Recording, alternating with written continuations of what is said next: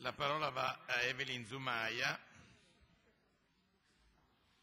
Evelyn Zumaia è una artista indipendente, restauratrice e una appassionata studiosa e collezionista di documenti cinematografici e di eh, materiali di storia del cinema muto in particolare.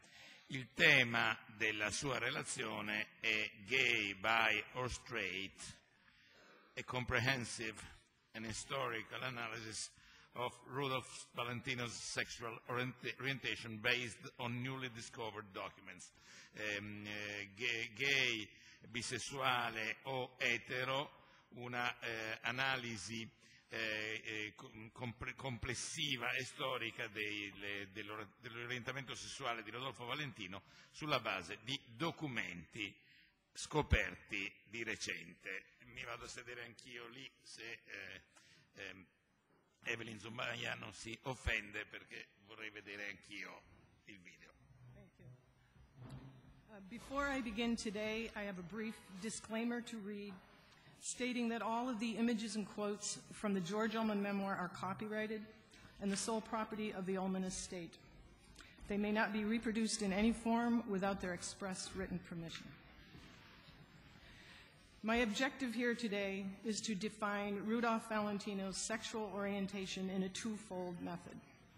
First, through the analysis of several key publications asserting that he lived his life as a closeted homosexual, and secondly, by presenting new evidentiary material as substantiation that this was false.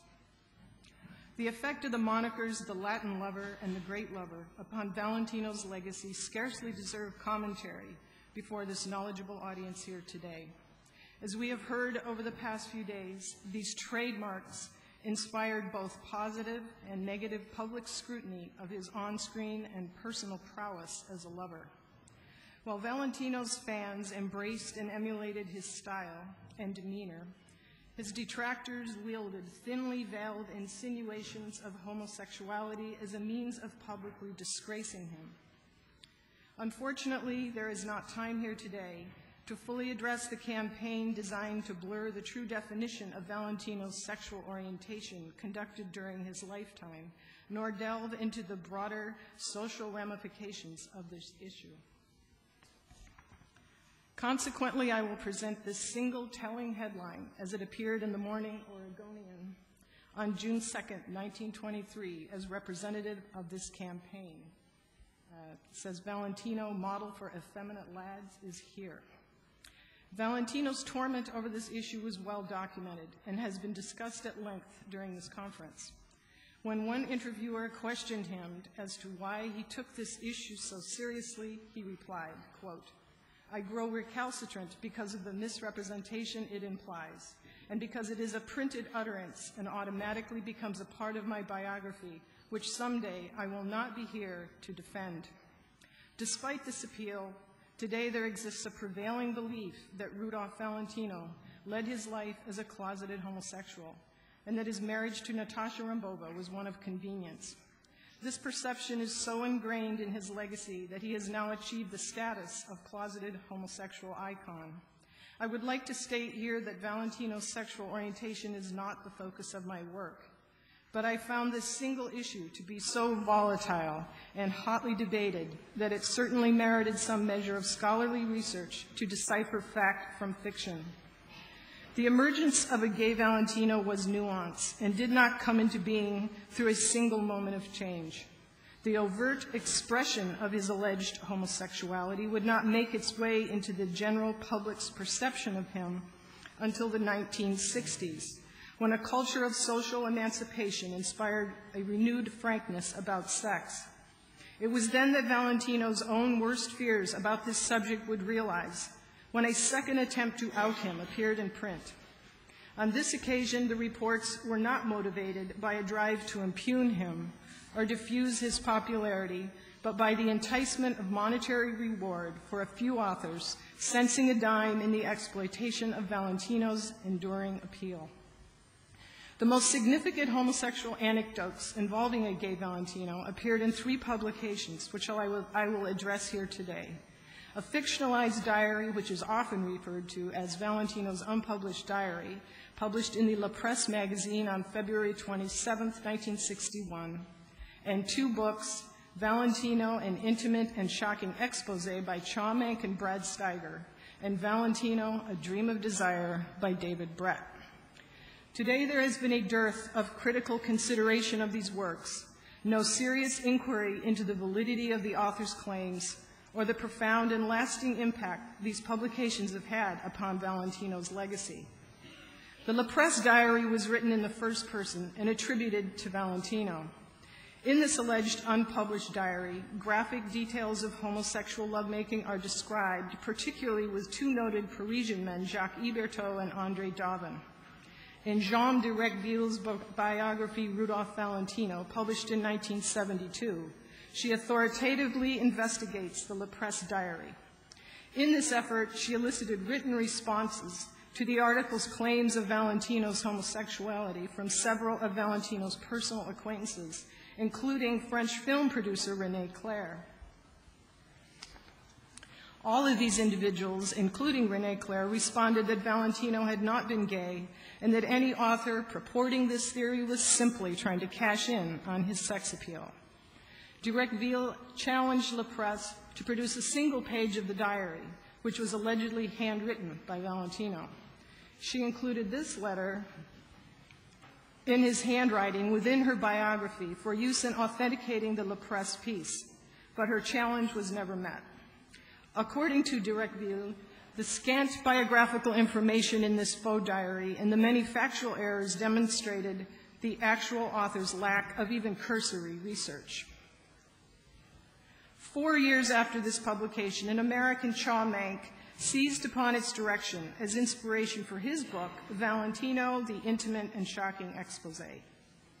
With the publication of his work in 1965, Chaw assumed the rank of leading expert on Valentino's alleged gay life.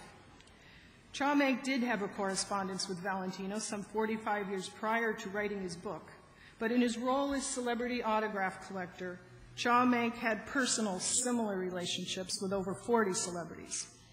Mank claimed personal relationships with dozens of stars and boasted that he wrote 25,000 letters a year to these celebrities by posting nearly 70 letters a day.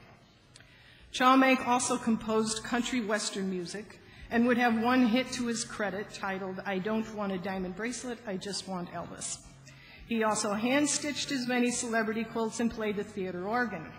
But during the 1920s, Chaw Mank acted as publisher and sole employee of his bi monthly Movie Fans newsletter. And it was through this newsletter that he organized fan clubs for some 50 celebrities. He regularly mailed his celebrities star questionnaires along with requests for one of their personal Christmas cards, which he would reprint in his newsletter. Most of Mank's celebrities, including Rudolph Valentino, did respond to his fan club questionnaires and sent along friendly letters and photographs for use in his publication. Chaw collaborated on his Valentino biography with author and self-proclaimed authority on unidentified flying objects and alien abductions, Brad Steiger. But Steiger's interest in Rudolph Valentino was based upon one more down-to-earth fact. He believed that his father-in-law was Valentino's illegitimate son. Uh, this is the back cover of their sensational book. In their biography, Mank and Steiger create pages of fictional dialogue and expand the fictional La Presse Diaries portrayal of Valentino to that of bisexual. Mank's book is fraught with homosexual slurs, such as, quote, fairies and degenerates, end quote, as well as denigrating stereotypes and undocumented and sexually graphic anecdotes. Typical of such accounts is the tale of a childhood nurse sexually molesting Valentino and lengthy explanations of how as a young boy he was, quote, cruel and a bully. And before and Steiger age Valentino past infancy, they have made repeated references to his genitalia as his, quote, tiny member, little fellow, tool of pleasure member, and glandular proof of his impending manhood. The book's lengthy and intimate fictional dialogue portrays Valentino as confused and weak willed, and, quote, resorting to homosexual activity only after, quote, failing to satisfy a woman. Steiger and Mank refer to Valentino's interviews before his death in response to the pink powder puff incident as, quote, silly, and ridicule his interest in boxing by implying he only feigned interest in the sport as a, quote, pathetic attempt to prove his manliness, end quote. The book's sexual content is such that today it is archived in the Rare Manuscripts Department in Cornell University's Kroch Library, not under the category of biography, but under human sexuality. Since Chaw Mank did have a correspondence with Valentino decades earlier, he and Steiger were in possession of legitimate material they were able to exploit. But one has to conclude that Valentino would never have permitted Mank to later splice his gracious comments forwarded for use in the movie fans newsletter into X-rated narrative in an effort to deceive the reader into thinking that he was casually commenting upon the sordid text.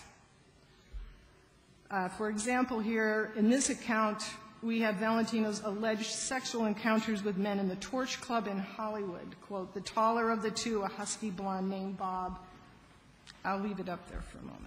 I recently interviewed Brad Steiger and asked him to, to, substantiate some of the claims he made in the intimate and shocking expose. He replied that these anecdotes were based solely upon, quote, Chaw Mank's own memories. He said Mank assumed Valentino was gay or bisexual because Valentino's first wife, Jean Acker, was a lesbian, and he added that Mank formed this belief because Valentino and Jean Acker divorced, quote, on grounds of non-consummation when he wished to marry Miss Rambova, which seems suggestive and supportive of the allegations of homosexuality, end quote. He said Mank also believed, as many people still do today, that Valentino's second wife, Natasha Rambova, was a lesbian. When presented with the facts stating that there is no known evidence of Rambova's being a lesbian, Steiger added that he had no documentation or firsthand accounts other than Mank's own memories.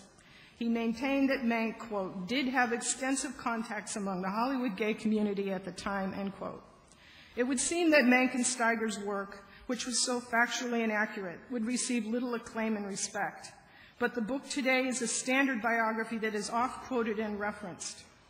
In 1998, Mank's intimate and shocking expose inspired author David Brett to write Valentino, A Dream of Desire, in which he portrays Valentino as a sadomasochistic, sexually insatiable, promiscuous gay man engaging in trysts with nearly every man he met.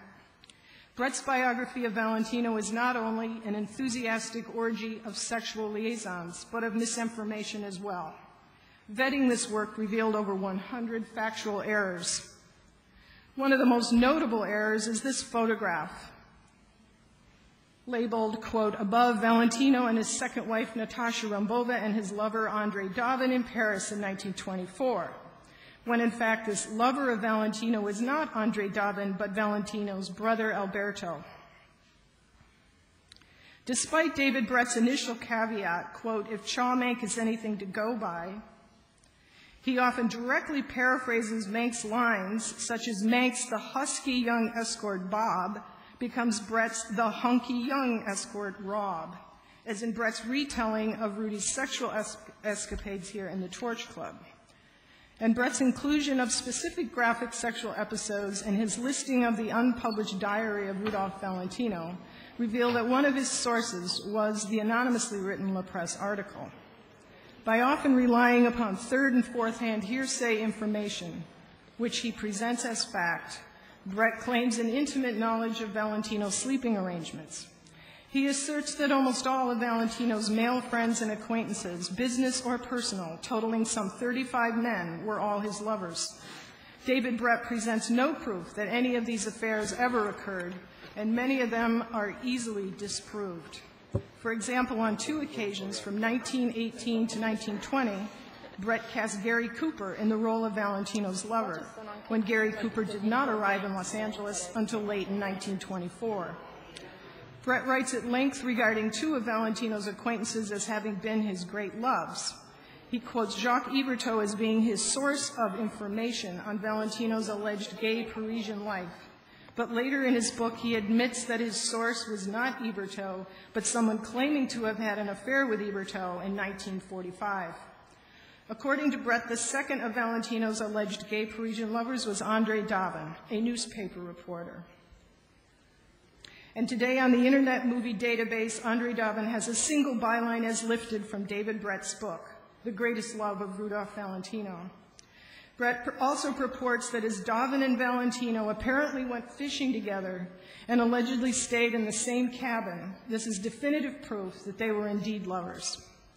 One of Brett's most outlandish claims is that Valentino formatted his poem titled You, as published in his book of poems Daydreams, in the shape of his own penis. In Brett's book, he formats the poem as such. According to Brett, Valentino's phallic format of this poem was, quote, deliberate, and his prank, quote, incensed the Hays office. In actuality, this is exactly how the poem was formatted in the original book, Daydreams. As with Mank and Steiger's book, one can wonder how a book so sensational, so fan-fictional, and so lackadaisically researched as Dream of Desire could ever have had much impact on Valentino's legacy. But the book's publication coincided with the rising popularity of the internet and online book sales, and consequently contributed in great measure to the appearance of an abundance of gay Valentino websites and listings David Brett has since been hailed as a reputable authority on Valentino and appeared in an E! Entertainment Channel Mysteries and Scandals documentary on Valentino. One would question why an outright fiction writer such as David Brett would even be invited to weigh in on the subject of Rudolph Valentino in any form. Typical of the many subsequent references inspired by Brett's Dream of Desire was the following quote, as cited in Images in the Dark by Raymond Murray. Quote, several but not all biographies conclude that Valentino was bisexual. He wrote in his private journal of one sexual encounter with a man. In turn, this quote then became the sole reference for Rudolph Valentino's induction into an online gay hall of fame. This website has since removed Valentino from their listings after being presented with the same documentation presented here today. In 2003, Valentino biographer Emily Leider held to basically the same position as that of Steiger and Mank by portraying Valentino as bisexual.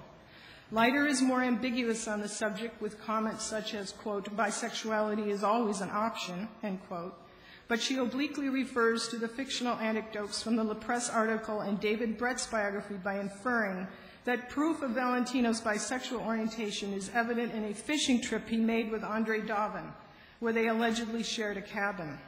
Quote, this seems to have been a genuine love affair, end quote, she writes.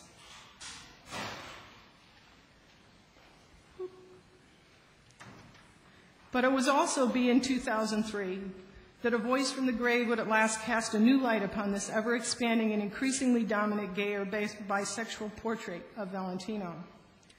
While researching my book, Affairs Valentino, I located the two children of Valentino's close friend and business manager, George Ullman.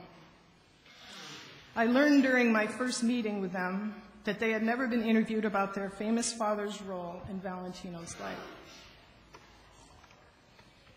It was also during my first interview that they presented me with a per- personal archive of Valentino related materials which included his unpublished memoir written shortly before his death in 1975.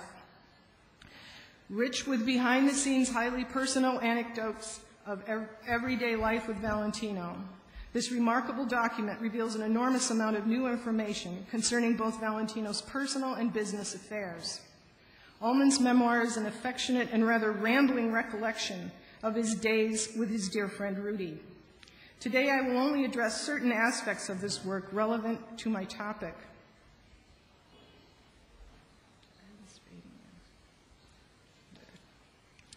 George Ullman did not directly address, address, the issue of Valentino's alleged homosexuality in his memoir, but it was through his many anecdotes that a compelling new portrait of Valentino's love life emerged. These are a couple of pages from his memoir. For example, the proponents of a gay Valentino often claim that Rudolph Valentino and Natasha Rambova's marriage was strictly a platonic, primarily business arrangement and that they never slept together. According to Ullman, this was far from the truth. This is nowhere more evident than in the following passage from his memoir. relating a desperate night during the final days of the Valentino Rambova marriage. A suspicious Valentino had just retained detectives to follow his wife, and with hours of his receiving the detective's first report confirming that Natasha had taken a male lover who was working with her on the movie What Price Beauty, the following transpired.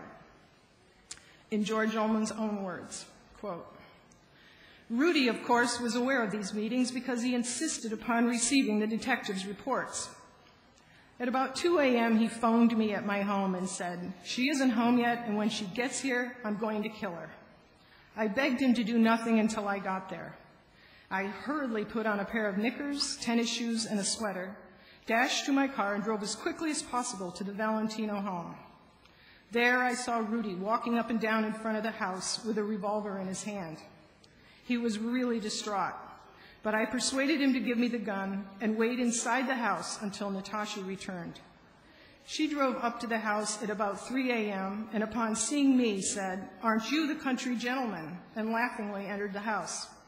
I was right behind her, and when I saw Rudy coming down the steps from the bedroom with another pistol in his hand, I had to act fast and rough to get the gun away from him. When he came into the living room, he shouted, Where have you been? And she said, I was having great trouble matching some frames in a scene. He then leapt at her and backhanded her across the mouth, shouting, You dirty liar. Natasha didn't cry, although her lip was swelling. She sat stoically just glaring at Rudy, who had to be restrained from attacking her again. Rudy told her that he was going to divorce her, named her paramour, and told her some th- of the things he read in the reports from the detective agency. All the while, she was silent and apparently unrepentant.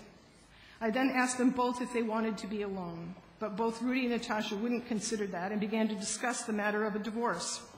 She seemed more anxious than he, I presume, from the indignity of the hard slap. But we did begin to talk of the division of properties. At about 4 a.m., I left for my home. Before going, I took Rudy aside and told him not to occupy the bed with Natasha that night, but to sleep on the couch in the living room, which he promised he would do.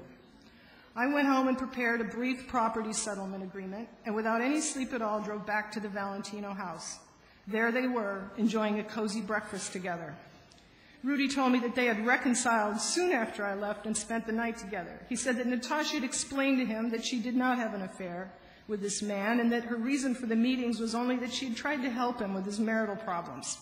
It was a bold bluff on Natasha's behalf, but it worked with Rudy for a time, at least, end quote. This single episode reveals the emotional authenticity of Valentino and Rambova's relationship and serves as testimony that this marriage was not platonic and not always convenient. And while traveling with Valentino and Rambova on the Mineral Tour in 1923, Ullman's sleeping berth on the train directly adjoined the couple's private quarters. Again, I quote, the bedroom I was to use was adjacent to the Valentino's bedroom, and when Natasha's aunt, Mrs. Teresa Werner, joined us, she occupied the compartment. Unlike the authors who years after the fact claimed some critical vantage point to Valentino's sleeping arrangements, Ullman was there and had one. According to George Ullman, Valentino slept in the same bed with his wife, Natasha Rambova. And Ullman relates that in the days immediately following the Valentino separation, Valentino demonstrated little modesty while being physically affectionate with his girlfriends. This lack of discretion was evident in his love affair with movie star Pola Negri.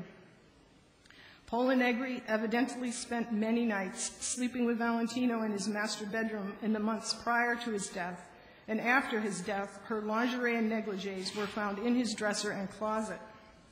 Again, Ullman's accounts reveal the veracity of the Valentino Negri relationship. On one occasion, he relates a hectic evening of negotiations with United Artists Joe Considine.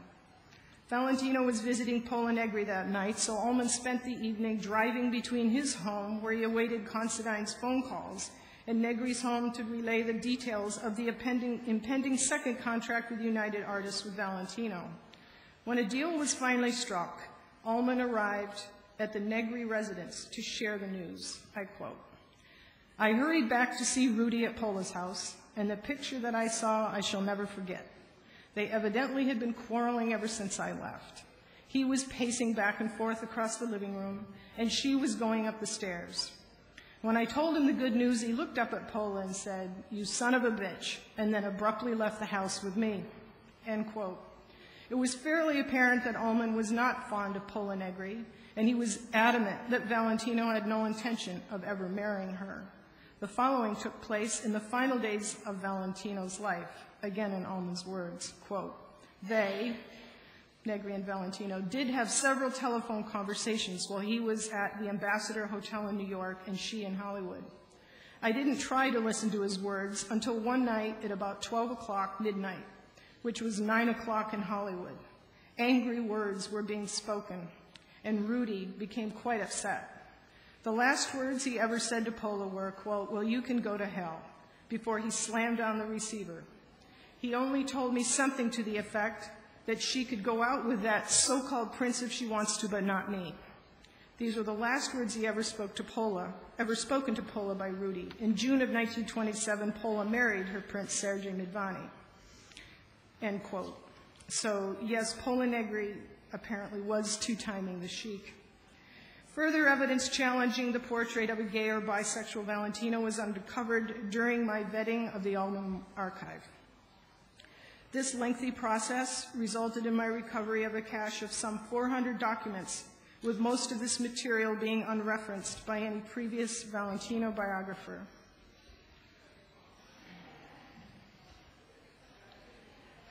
Typical of these documents, the original contract signed between Valentino and Ullman, ledgers revealing Valentino's assets and liabilities, uh, Valentino's will and other relevant documents, and the gray books or Falconhair Lair household ledgers, and these include some of Valentino's personal expense accounts.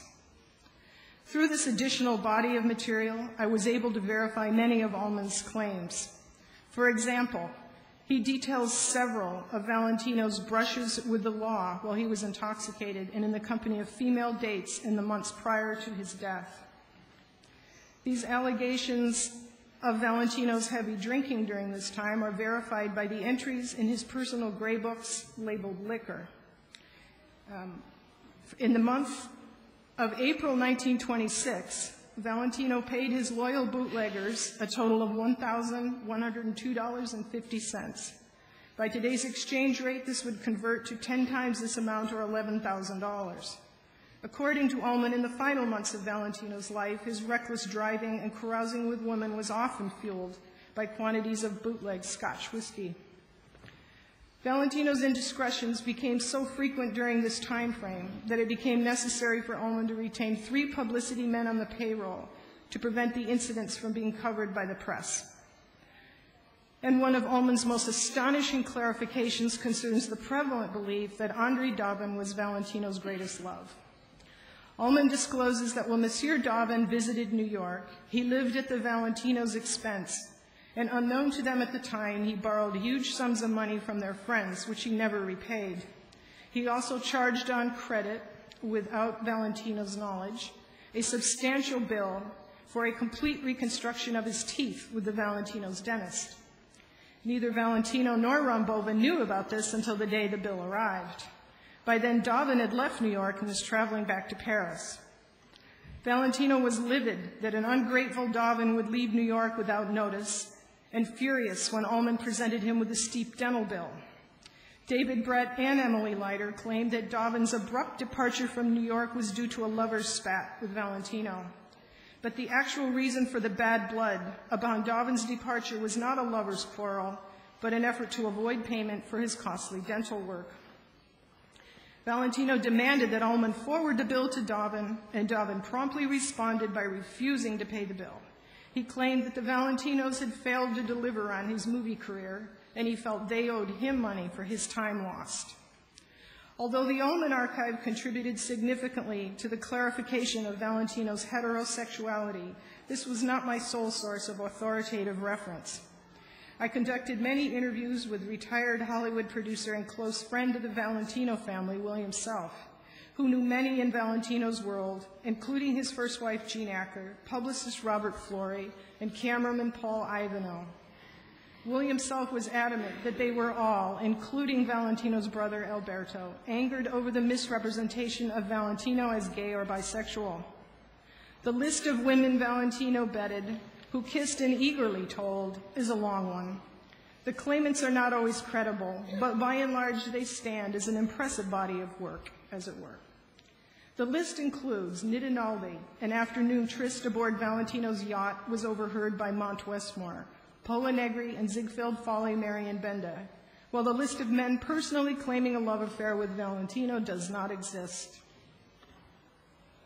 And any lingering questions concerning Valentino's possible affair with actress Mae Murray are put to rest with Ullman's simple commentary on a night out on the town with Valentino. I quote, One time he and I went to the boxing matches alone in his car. As we emerged after the events, he spotted Mae Murray walking toward the parking lot. He invited her into his car, where he hugged and kissed her passionately, and then drove off with her, leaving me there without transportation. But I couldn't blame him. There are more revelations I would like to share with you today, but due to the time restrictions here at this conference, they will have to remain undisclosed until my book is published in the near future. in conclusion, the proposal that Valentino gay was gay lacks any credible source material. On the other hand, the account of George Ullman, who was a friend and spectator in Valentino's life, provides ample evidence of the movie star's unqualified heterosexuality. Theorists and speculators would be hard pressed to match the amazing account of one who was there.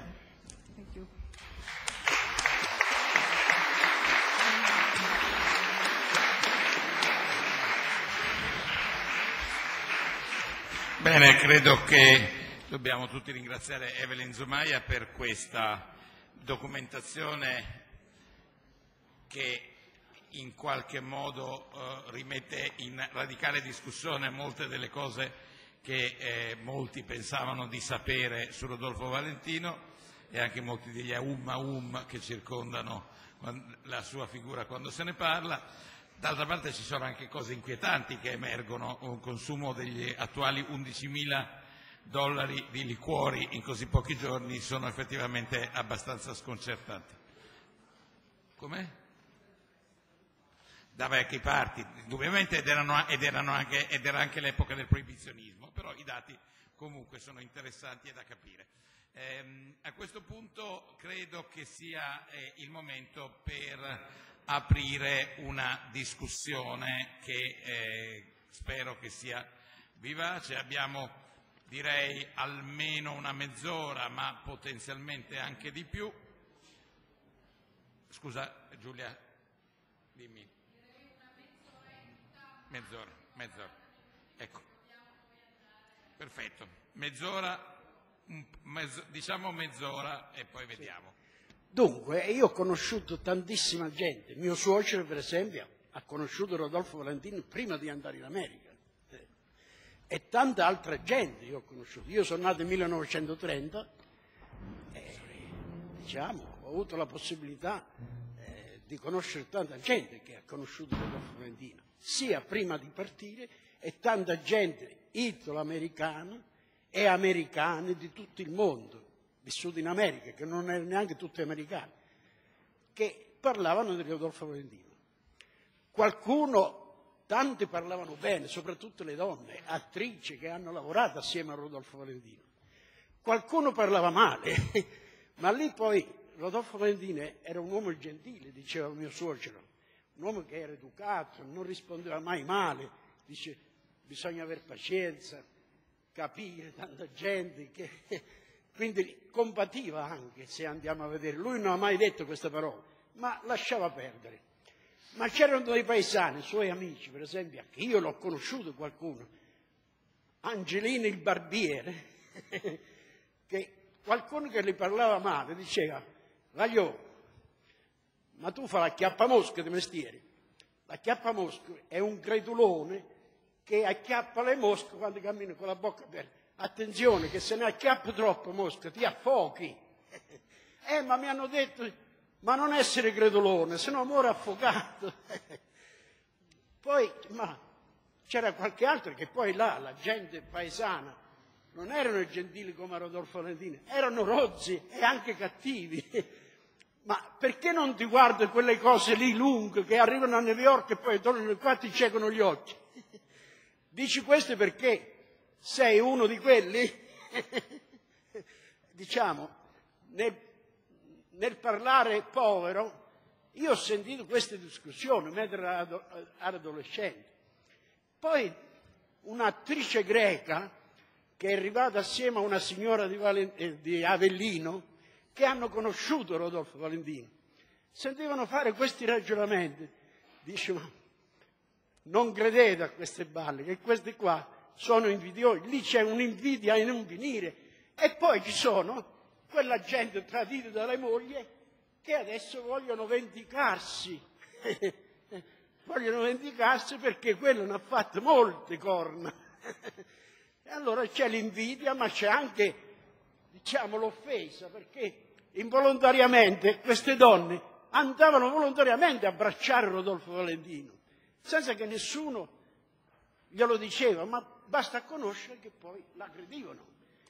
Ecco, queste cose qua io le ho sentite, ma da tanta gente, da migliaia di gente, soprattutto di donne, ma le donne parlavano tutte bene.